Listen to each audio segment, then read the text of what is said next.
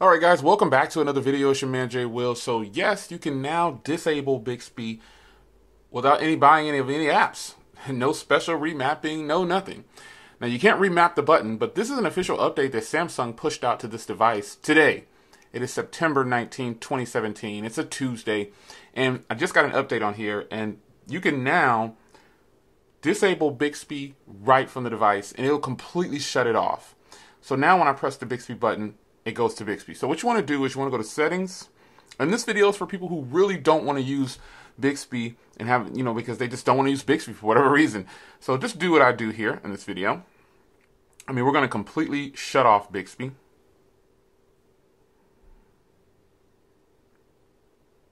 You want to make sure all these are turned off. Then you want to go to Bixby Home. This is the most important part. You want to press that bottom one. No action do nothing. Now you press that button, it does absolutely nothing. Nothing will happen. Long press, I'm long pressing, there's nothing. Nothing's going to happen. So when you back out of here, though, that's it. Bixby's gone. So let's just say you wanted to turn Bixby back on. You say, oh, you know, I'm giving the device to my mom, or she's going to hold it for a day, or my mom just wanted to try Bixby, whatever. I don't know. Go back into the application settings, go to the app, go to the Bixby app, and you have to clear the data in the storage, and this should bring back Bixby to your device.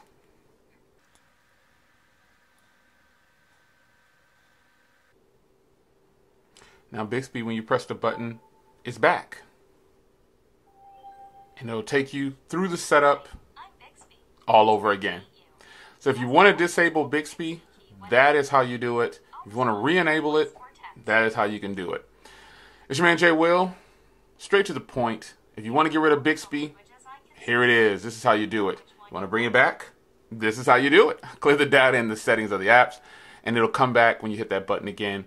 And now, thank you, Samsung, for allowing us and giving us the option to turn off this useless button on the side, which shouldn't have been there anyway. Bixby should be an application uh, that you can access because without that, you know, if you didn't know, you know, do you see a Bixby button any a Bixby icon anywhere here? Uh, there isn't one. So I would suggest disabling Bixby directly that way. This is a this is an update that was pushed to the Samsung devices that have the Bixby button, which is the S8, S8 Plus, and the Note 8 at the moment. So uh, I hope this was helpful to you, and uh, thank you for watching. This is the updated video on how to disable Bixby. See you in the next one. Take care.